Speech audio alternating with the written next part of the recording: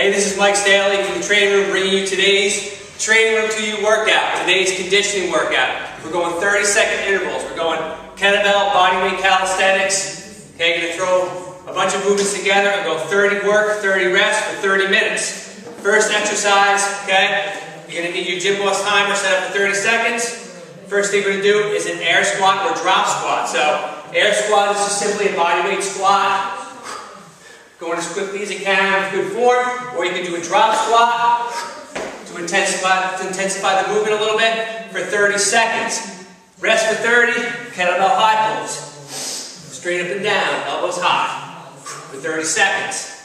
Okay, after high pulls, we're going mountain climbers. Drop down, drive your knees to your elbows for 30 seconds. Rest for 30.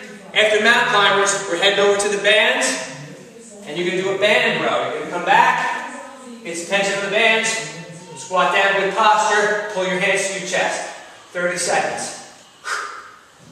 Rest for 30. From there, we're going to go either half burpees,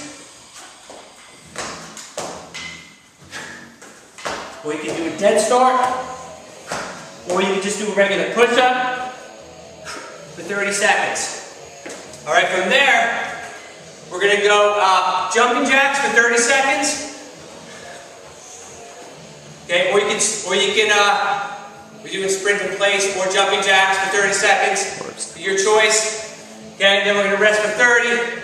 Then we're going back to the beginning again. All right, so 30 on, 30 off, 30 minutes. Bodyweight calisthenics, bands, kettlebells. That's it.